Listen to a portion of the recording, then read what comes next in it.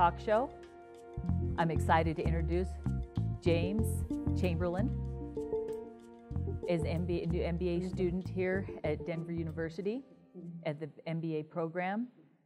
And so we've only got 20 minutes, so 20 minute time starts now. Thank you for joining us for the show. So, what made you decide to get involved with the MBA program? Well, I knew that it was going to be a step in the right direction. I've been looking at consulting, career fields, but specifically entrepreneurship as well. And getting an MBA would broaden my understanding of business so I could perform better. Okay, so before you joined the MBA prog- program, what did you do? I was a financial manager for the Air National Guard in Illinois. And before that, I was a deployment manager and air traffic controller in active duty Air Force. Oh, wow. What great experience you've had. Air Force has probably given you so much experience and a lot of resources and value to the MBA program. Do you feel it has really benefited you and you've applied a lot to the program? Absolutely. Um, airline industry is an extremely large industry, and what was nice about my experience is that it was very multifaceted. So not just air traffic control, but seeing the logistics part of that, and then the finance part of that gave me a much better perspective. Nice. So, how has your first quarter been so far in the MBA program? It's been pretty busy. Uh, a lot of students call it a fire hose of information, but the five week program I think served us well because when we took as many courses as we did, um, that really helped us understand business in terms of entrepreneurship because we had a challenge to actually pitch an entrepreneurial idea. So that really helped us. Nice. Wow. So, what's been your favorite class so far? I think my favorite class is data analytics because I can justify an answer I arrive at empirically, which is easier than trying to explain a thesis. Nice. Uh, so your cohorts, have you developed relationships with many of them? Oh, absolutely. Uh, we come from um, a wide area geographically from all over the United States. And so when we met together at the Nature Place, we sort of all bonded because we all came here for similar reasons. Okay, do you have a lot of team projects? We do. Program? Uh, we do. So this first quarter was entrepreneurship, and then the next one is going to be a social good challenge where we're going to be consulting a social good enterprise here in Denver. Mm-hmm. Oh, amazing. Have you built a lot of good relationships among your team members? Oh, absolutely. We're actually going to continue the enterprise project, even though we're no longer supposed to do it as a deliverable on the academic side, because we think we can actually go somewhere with it.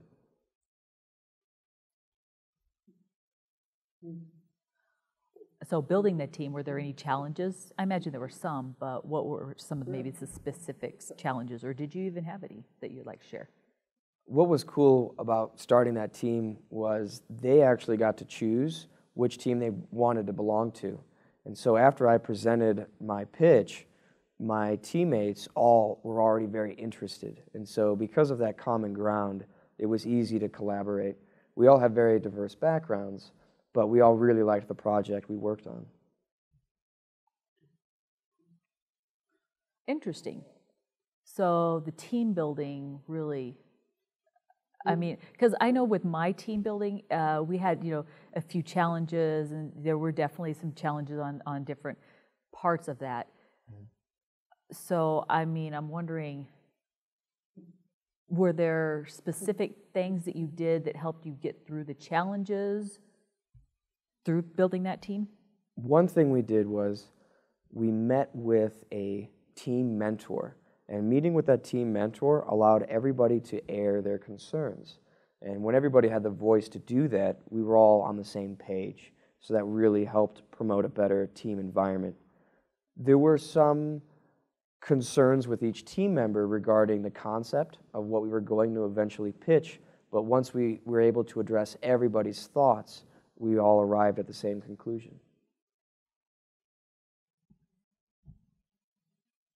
Right, I agree. that that would be a real strong part of building uh, a good team camaraderie. So, what do you, uh, what have you been your takeaways or the benefits you've gotten from the MBA program so far? Um, to not be afraid of failure, really.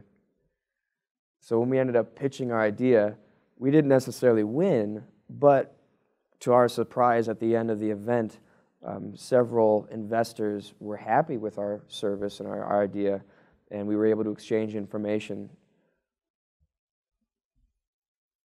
Nice, right. So, where do you see yourself in 10 years? Hopefully, as a business owner. That's the plan. What kind of business are you wanting to own? Uh, right now, there's a lot of traction with Milestone, which is a experience-based e-commerce platform. We like to call it Amazon for adventure, where people buy goods instead of, or people buy experiences instead of goods. So it would be exciting to see that go far. Okay, so what do you, what kind of experiences? Could you elaborate more on that? Absolutely. So we've contacted Breckenridge Brewery, uh, Mile High Skydiving, Aspen Flying Club, and the Denver River Water Rafting. And we're trying to just connect businesses that provide an actual experience or an event that people can partake in. And then we will advertise those on our website. And when customers purchase that, they go and they attend the event, they actually earn milestone achievements. When you earn a milestone achievement, that gets pushed on their Facebook, Google, Plus, Instagram to everyone they know, but it also provides them with reward points that are redeemable for even more experiences.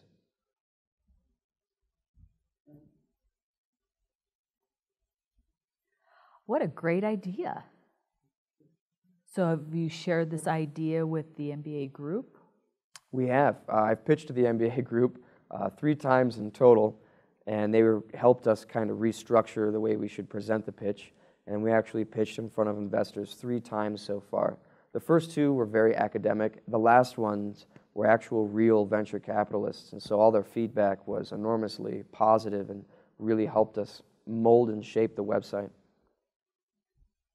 So excited for you and what this journey, where this journey could take you.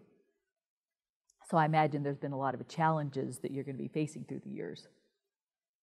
So, other than the MBA program, what do you do just outside of school? Outside of school, I, I love to play piano. That's a big passion of mine. I like to read. Um, and I, I really like mountain climbing and hiking.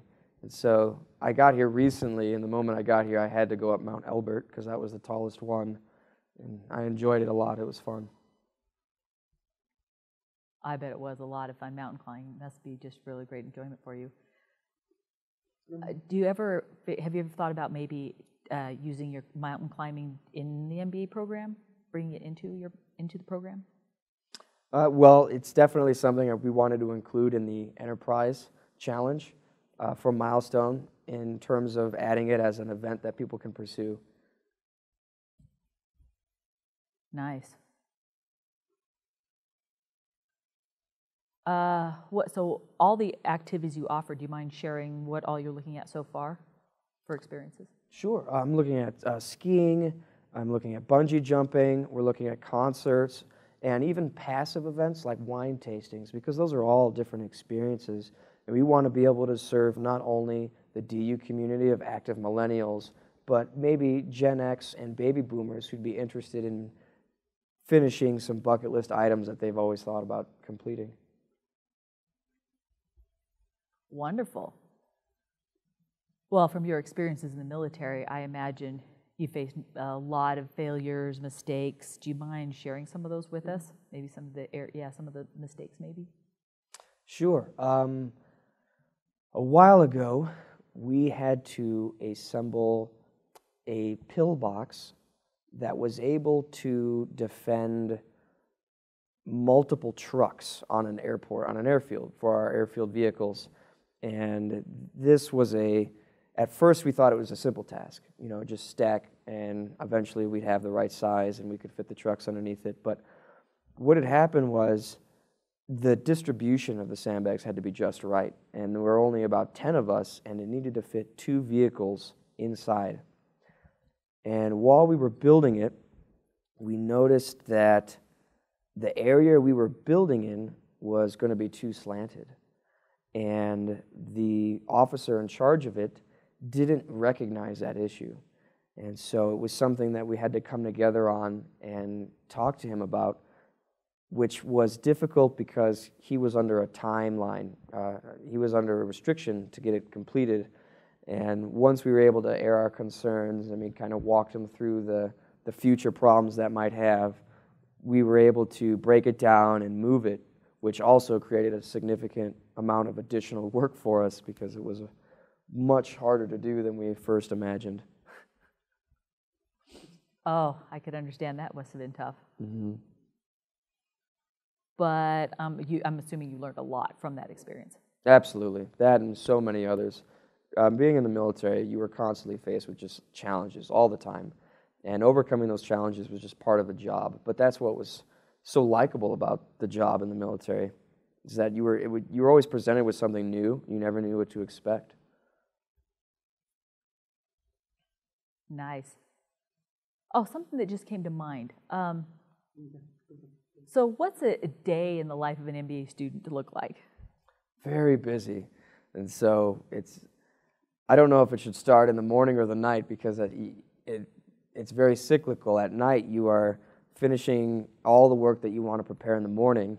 When you wake up early in the morning, you've got all this reading that you want to be in tune with so that you can make a meaningful conversation in your classroom with the teacher.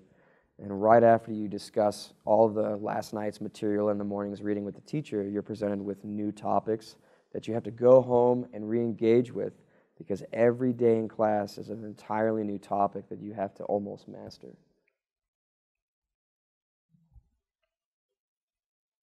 So it's always preparing, was really preparing you for Mm-hmm. the, your future because stuff is always going to be coming up. Absolutely. I agree. Okay, so Okay, so tell me about your your favorite time as an MBA student. I had a couple favorite times. I have to say the second pitch we did in the enterprise project was my favorite time. Really? Why was that? Um, when we went and did the pitch, we were very confident about it. We had a lot of teachers that showed us what we needed to accomplish, and I just felt really good about the material I was presenting, and it went very, very well, and we received very positive feedback. Everybody really liked the idea, and afterwards, uh, we engaged with a Denver entrepreneur who actually owns several businesses, and he loved the idea as well. And seeing that other people recognized uh, a positive outlook on our on our business idea really helped our team come together more. Right. So it's really built a network from that, and which is really important. Do you mm-hmm. agree? For entrepreneurs to build to build a strong network. Yes, definitely. Entrepreneurship, you know, they, they like to say uh, you can have a B idea, but if you have an A team, you'll probably get funded. You know, because people, human capital, are some of your best resources, and meeting and uh, finding other entrepreneurs out there that you can work with and partner with is an invaluable asset to any startup. That's true. So, marketing your idea. What are some of the approaches, uh, the approaches you've had in marketing it, and some of the challenges you faced? And so, we've actually built two customer profiles: Nick and Haley. Uh, Haley's your standard graduate student, about 25, 26, and she knows what she already kind of likes. She likes, you know, um, hiking, yoga, she lives an active life. And so Milestone becomes an incredible resource for her because it allows her to continue her daily life and continue her um, favorite activities, but receive rewards for doing so. Whereas Nick, we kind of profiled him as an undergrad student who's new to Denver. And when he moved here, he likes concerts, um, he likes to ski. And so for him, Milestone becomes an incredible resource where he could find new things to do as well as receive rewards. That's a great idea. Okay, so what do you like to read just for your free time? Some of your favorite readings? Well, I, I read a lot of. Uh, I guess, journals from military officers. Um, Robin, Robert Olds, he's a, uh, he, he wasn't necessarily a general, but he could have been. He was a pilot in the Air Force, and he was an incredible leader. I also like reading just books on leadership. Um, Lincoln on Leadership is an incredible book, too, if you ever want to gather insight into what it takes to really manage a team, not in a way that treats them as an ends to a mean, but treats them as an end in themselves. Interesting. So, who's your role model? Uh, what entrepreneur has inspired you, or who do you look up to? You know, I have many role models, but I don't necessarily have a specific entrepreneurial role model. I really like Henry Ford's approach. Um, I thought what he did with his factories was incredible and how he was still able to treat his employees extremely fair. Um, and I also like uh, reading about how veterans come out of the military and end up becoming entrepreneurial in their own ways. Um, there was an individual who started a company in New York, and his company focused on recruiting people. Well, during the economic um, recession in 2008, he decided not to take a salary, and he brought all of his employees in and asked, Will you all accept a 10% pay cut so nobody has to leave?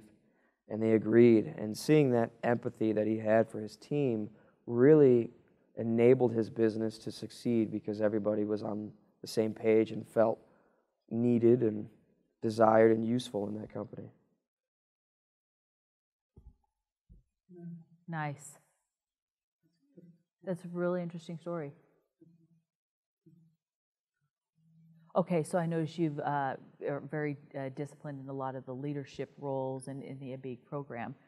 So I'm, I mean, there are different disciplines. So what discipline are you looking at? I mean, that that that it's kind of the same or different. That it's all kind of the same thing, or that MBA the MBA program is just um, that they're they're different or they're similar in how they approach things. There are different um, specialties that I've been looking into, and it's so incredibly hard to just pick one. In our short time here with two years, I, I think I'm probably going to choose data skills and data analytics because I feel like those hard tools accompany soft tools very well. Um, but at the same time, a certificate in leadership would also be pretty invaluable. I think that in order to really succeed, you just you have to have an equal balance of the two so that you can take an approach, a good approach, based off of good information. Right. So the information from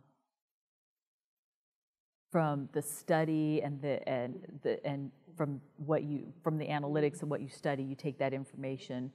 I mean, what's your favorite approach? My favorite approach is just to use those analytical skills to be able to find data, analyze data, and then show people the different answers you come up with. You know, if you can prove something analytically, um, it makes it a lot easier for people to adopt.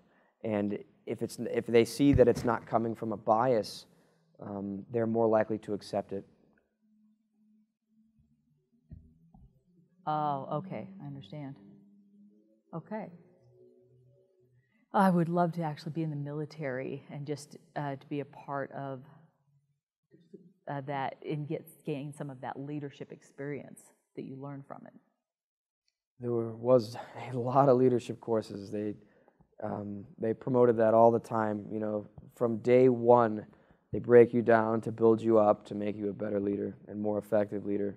And that was the greatest takeaway that I had from that experience. But even in the wow. civilian world, you can you can still obtain those skills. Absolutely. Okay, so we've got 40 seconds left. So tell me, uh, explain yourself in one sentence. Wow. Um, an entrepreneurial, um, intellectually curious person who just wants to spend life discovering things. Great. I like that. And a curious entrepreneur. Well, thank you for joining us. And I do wish for the best best for all your future endeavors mm-hmm. and all the challenges that come your way. And I'm excited for all the people you'll meet in the future as well. Good luck with all that. Thank you so much, and I really appreciate this time.